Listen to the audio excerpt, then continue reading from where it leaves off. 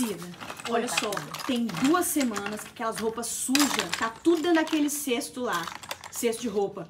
Olha só, Aham. eu preciso que você esvazie aquele cesto hoje. Tá, Não dá não, Cida, tá? tá. Dá um vou, jeito naquele cesto lá. Vou levar ali pra Bebel e já vou lá es- esvaziar ele. Isso, esvazia, por favor. Tá. Eu, hein? Patroa não pode fazer isso, não. Agora tudo é eu, tenho que esvaziar o cesto.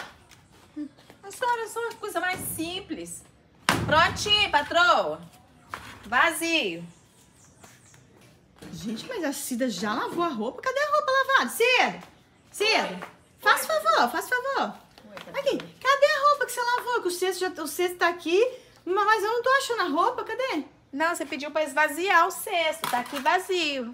Você falou que não queria ver o cesto cheio de roupa. Sim, Cida, mas, pra pra, esvaziar. Cida, mas pra esvaziar lavando, né? Você esvaziou e colocou minha roupa onde?